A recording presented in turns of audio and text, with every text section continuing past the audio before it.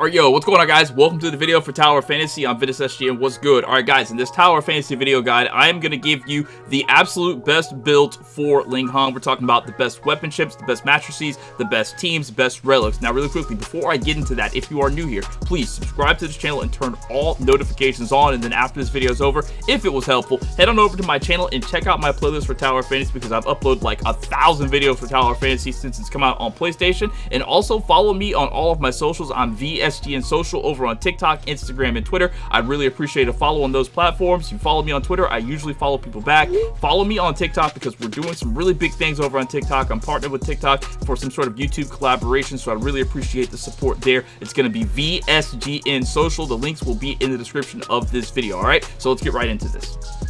Alright, so the first team I want to tell you about in this video is going to be the most basic Frost DPS team, the team that everybody is probably using right now, so I gotta mention in this video or else, you know, comments will come after me. It's going to be Yu Lan, Icarus, and Ling Han. Uh, Yu Lan, Icarus, they are on the rerun banner, and of course, Ling Han is the title uh, banner character for this current season that's going on right now as the making of this video. Now, what's really good about this team is that this is a purely, like, discharge driven team and that's how they get the most damage out. You really don't need a support character. Like right now you're the gameplay you're seeing i am doing a solo joint op. This is the strongest joint operation that i can do for my level and it's actually a breeze with me because i've got my Yu Lan over at a3 and i'm using the awakening of ling han which basically lets me get a lot of discharge. So i'm just going to read the awakening for ling han right now. Um, if you get ling han there's absolutely zero reason why you don't get this awakening Alright, so Ling Han's first awakening, it's called Overwatching Blade, increased final damage by 13%. When Alabaster Tiger is equipped, for every one Frost weapon equipped, increased Frost damage by 1%. That's the first awakening.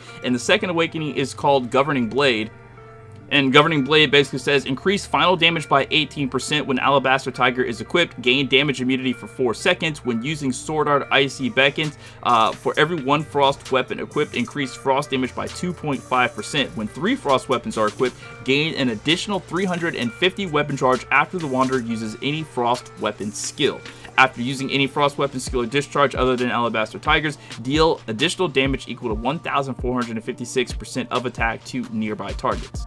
So, like I said, what's really cool about this team is that it's a purely discharge-driven team. I've got my Yu Lan A3 over in Sweeping Force form, which basically means every time you use a discharge skill from Yu Lan, you get 1,000 discharge energy back, so you can go straight into another discharge skill. So, realistically, what I like to do with this uh, team is I'll use Yu Lan's discharge skill, and then I'll get Ling Han's discharge skill. When you use uh, Ling Han's discharge skill, you get a damage boost for like 8% for like the next 30 seconds or something like that, and it's super good for boosting damage, and then you use Icarus's discharge to just get a crazy amount of damage off because his character is nothing but damage. He has an AoE skill that you throw down there, and it just lasts for a while, just giving damage over time while he's off field, and you go back to Yu Lan. If you got Yu Lan at A3 like I do, you can get a little bit of healing back because she has the ability to use her fighting strength while she's in sweeping force form to restore some of her HP at A3, so she is super good. A4 Yu Lan is great, A5 Yu Lan is super perfect. So I would suggest if you are trying to invest in a Frost team,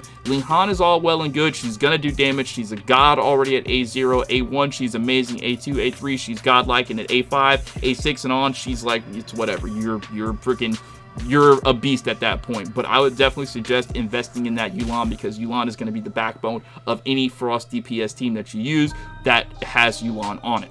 Alright, so now I want to tell you about the relic combinations that I like to use with Ling Han when in combat. And the first one is this. It's going to be Space-Time Rift with Thalassic Heart. The next one is going to be Alternate Destiny with Thalassic Heart. And then we have Alternate Destiny with Couant Shield, either Type 1 or Type 2. And then finally, Space-Time Rift with Alternate Destiny. Alright, so the next team I want to tell you about is one that's super underrated that I actually really like a lot, and a lot of people might say that I'm faded for, but I think this team is actually good. I did the joint operation solo with this team, and it was actually like, like a breeze. It was like super duper easy, and it was really fun. So it's going to use Frigg, Yu Lan and Ling Han. Now, I've got my Frigg at A1, my Ling Han obviously at A2, and then my Yu Lan at A3. Now, what's really cool about this team is the Frigg. Frigg has a really amazing ability when it comes to using Frost units, and I'll go ahead and read what Frigg does.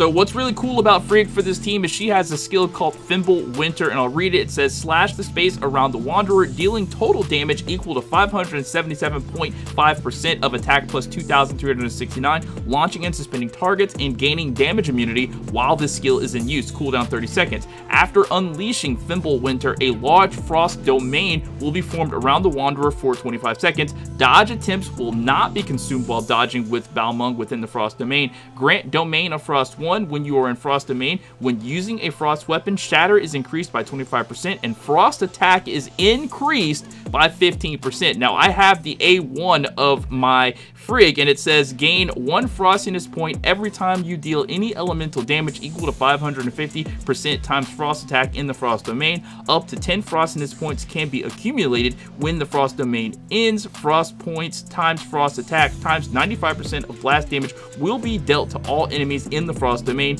After leaving the frost domain, lose one frostiness point every 3 seconds.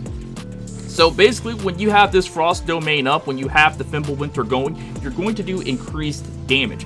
That on top of the increased damage that you get from Ling Han's discharge skill, plus whatever you do with Ling uh, Yu Lan, you're to do increased damage. So it's all about DPS with this team. I'm not sure if I like this team more than the Icarus team, but this is really good. And if you have A1 Frigg or above and you have her at like a, a acceptable level, like 140, mine's at 140, I definitely suggest you give this try and let me know what you think. Like use it and then come back to this video and be like, yeah, this team is kind of butt or this team is actually really really good. I personally really enjoy this team. I thought it was fantastic. Try it.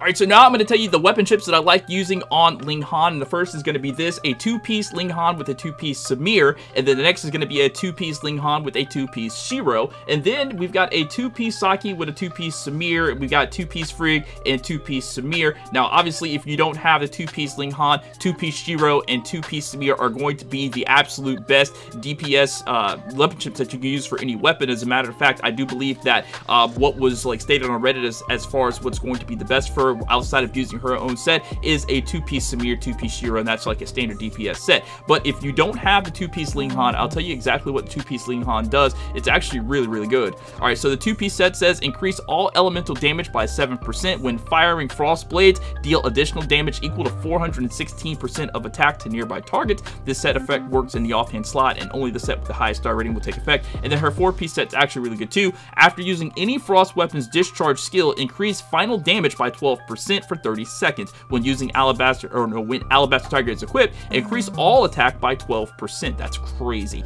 This effect works in the offhand slot. The only set with the highest star rating will take effect. So it's very good to use her weapon chips if you can get them. But if not, like I said, two-piece Samir, two-piece Shiro works really, really good. And any of the Frost sets, two-piece Frigg, two-piece Saki, those sets work really good as well.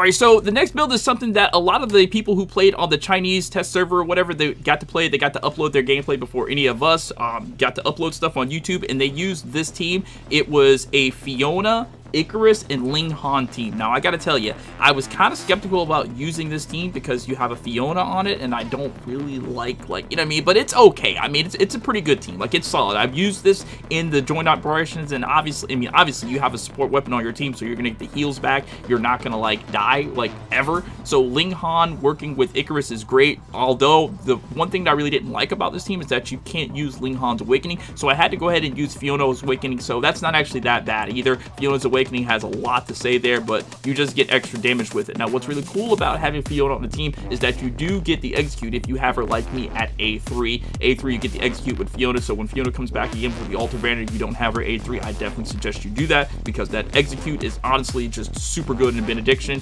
Um, resonance, it's good in attack resonance as well, but you have to like get your opponent down to like a lower health pool so you can execute them, but even still, that little bit still helps when you get them down super low, especially when you're doing some sort of time trial. Now, now, using Fiona with Ling Han, you do get a little bit of discharge back, but it's not as fast. The damage is okay. It This just feels like a really safe team to me. It feels like a super safe team, especially when you're running a uh, joint operation solo. So if you have these weapons, put them together, I think they work. They're safe, they keep you alive, and they deal decent damage because Ling Han is obviously meant to do crazy amounts of damage. Icarus is meant to do crazy amounts of damage. You could also use Icarus's Awakening. Icarus's Awakening, it just increases final damage and shatter, so that's pretty good there too. Whenever you have Frost weapons equipped with Precious One, that's what the Yo-Yo is called. But I honestly just go with the Ling, uh, the uh, Fiona Awakening because Fiona's, you know, deals the extra damage or whatever like that.